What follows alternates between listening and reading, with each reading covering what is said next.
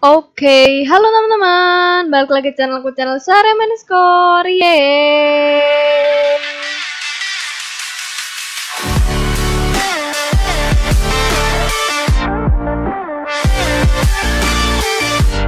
Oke teman-teman, di video kali ini kita bakal lanjut main survival di outside SMP-nya dan di video kali ini tentunya aku bakal lanjutin baseku lagi. Uh, di episode kemarin aku udah bikin uh, itu tempat AFK fishing yang belum terlalu aku pakai tapi aku udah pernah pakai sekitar waktu itu sejam ya pakai uh, fishing rod yang normal. Cuman dapatnya waktu itu cuman dapat ini mending sama unbreaking. Dan aku mancing lagi sama ini belum lama. Dan baru dapat buku ini power 4 sama quick charge 2 ya udah lumayan lah buat ikannya ya buat makan nanti kan. Dan aku juga udah apa ngefarmin sugar cane tuh terlalu banyak. Sampai satu barel kebanyakan ya kan jadi ntar nih aku bakal tebasin semua dan nanti aku bakal bikin tempat farmnya sendiri gitu supaya tidak menjelek-jelekan suasana depan rumah. Dan di video kali ini aku bakal bikin farm guys, bikin farm gandum. Bikinnya itu aku bingung antara mau di sini atau di pulau seberang gitu karena uh, kalau di sini kan ya nggak terbatas juga sih ini lumayan luas tempatnya. Tapi kayaknya bakal aku bikin di pulau situ aja deh.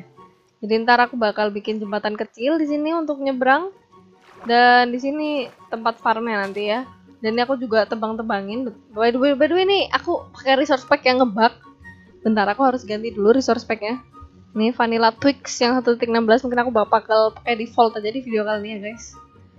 Jadi kalau kadang-kadang kalian nanya pakai resource pack apa, aku pakai dari Vanilla Twix. Kalian cari aja di Google dan kalian bisa pilih-pilih custom sendiri khusus MC Java. Eh, nggak tahu MCPE bisa nggak ya? Aku kurang tahu. Nah ini kan lebih enak dilihat daunnya. Dan ya aku bakal bikinnya di sekitar sini farmnya. Tara, uh, khusus farm wheat buat yang wortel sama potato aku bakal pisahin. Atau oh aku baru inget guys. Aku dulu di yang hardcore mau bikin farm yang tingkat itu loh. Tapi kan belum jadi. Apa aku bikin itu aja kali ya? Aku kayak bakal bikin itu aja. Kalian inget kan yang aku mati kena creeper ya emang kurang ajar sih itu. Ya udah jadi aku bakal bikin yang kayak gitu aja tingkat lagi. Ya sebenarnya nggak lagi cuman mengulang ya membuat ulang. Karena yang waktu itu udah kayak gitu udah mati aku kan di sana di hardcore. Nah ini lihat nih surga kan aku udah banyak banget. Aku pengen taruh mana lagi? Nggak ada tempat ya kan? Ya udah ini aku bakal bawa ini satu stack terus bawa ini satu stack sama ini satu stack udah cukup. Uh, ini ada 47 nah aku bakal bawa dirt sama um, kayunya mungkin pakai spruce saja yang spruce nanti aku bakal klik kanan pakai X. Apa sih namanya? Eh uh, aku lupa namanya.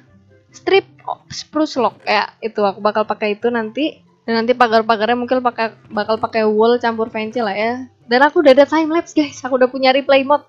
Jadi aku udah bisa time bikin time lapse buat building ya kan? Jadi aku bakal time lapse untuk building kali ini. Yeah aku udah lama banget by the way nggak uh, nge-replay mode, nge-time lapse pakai replay mode dan ngedit replay mode-nya. Jadi ya enjoy time lapse berikut ini guys.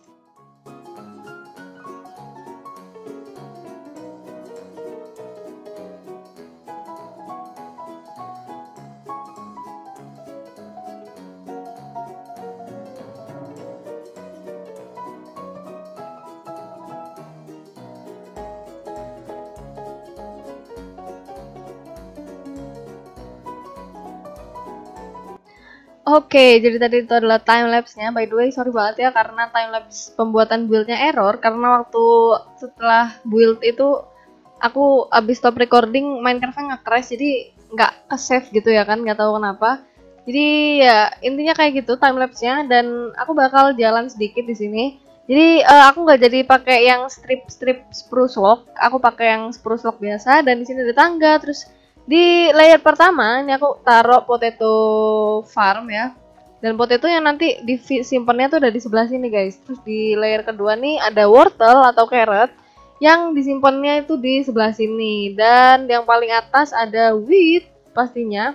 Dan itu aku simpannya di sini. Ini untuk seatnya di yang bawah, yang atas untuk wheatnya gitu kan. Jadi di kanan kirinya juga ada lampu-lampu lantern. Terus di sini aku kasih torch sama pagar juga. Kenapa aku kasih pagar? Karena uh, supaya nanti kalau pas ngefarm nggak jatuh ke bawah dan kalau misal jatuh ke sini kan nanti bakal ngerusak farm yang ada di bawahnya gitu. Jadi untuk mengurangi uh, potensi jatuh ya walaupun ini masih bisa jatuh cuman ya setidaknya nggak jatuhnya ke sini.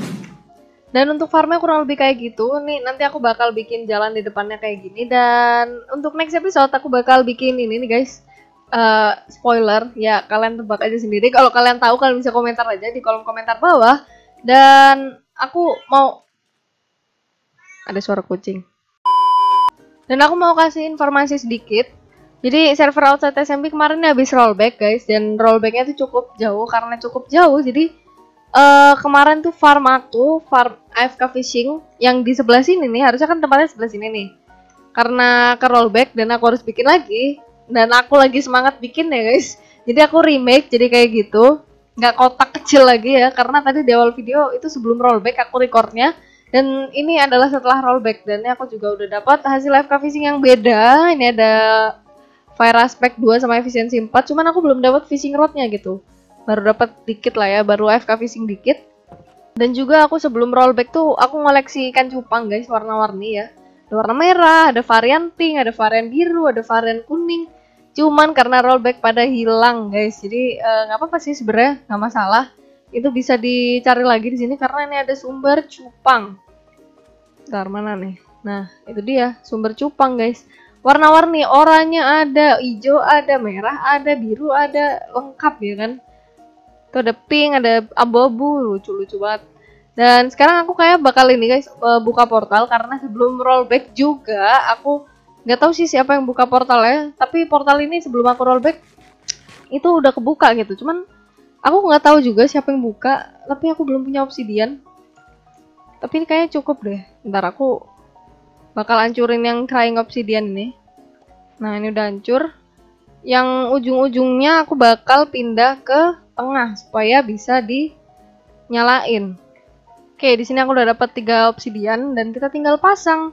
Satu lagi hub uh, aku nggak bawa flint apa di sini masih ada oh ada guys oke kita bakal nyalain yeay udah punya portal jadi aku kalau mau ke base base orang nggak perlu jalan kaki lagi aku bakal coba masuk ini aku bakal uh, ke spawnnya di mana ya kan Oke, aku ke spawn di dekat Soul Val Soul Sand Valley sama dekat apa nih yang abu-abu nih? Be bre bright apa?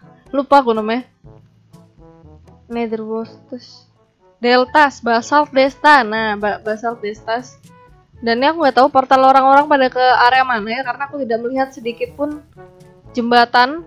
Nanti mungkin aku bakal tanya member yang lain uh, untuk kubis mereka itu lewat mana gitu ini kayaknya cukup serem jadi aku bakal pulang lagi ke base supaya tidak terjadi kematian ya kan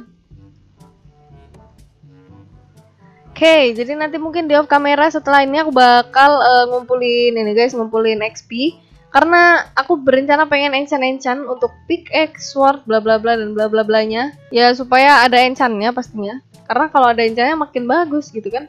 Jadi uh, untuk video kali ini mungkin segini dulu. Kita udah bikin farm itu yang ada di belakang aku juga udah nge-remake AFK fishingku yang tadinya kotak di sebelah situ udah hilang menjadi rumah yang menurut aku sangat-sangat keren. Yeay, jadi buat video kali ini segini dulu buat teman-teman yang udah nonton dari awal sampai akhir thank you banget. Jangan lupa buat teman-teman yang belum klik tombol subscribe kalian bisa klik tombolnya ada di bawah video ini ada kalian bisa klik tombol i yang ada di kanan atas.